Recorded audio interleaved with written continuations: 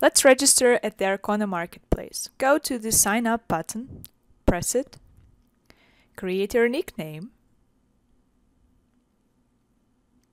insert your email address,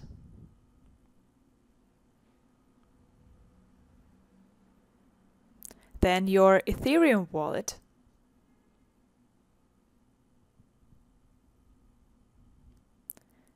create a password that would that will be stronger than mine, agree, and create the Arcona account.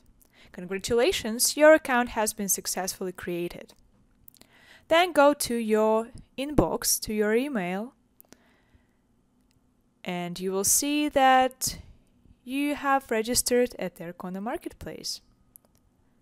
Confirm your email. Congratulations, your account has been successfully activated log in with your email address and with the password that you've created.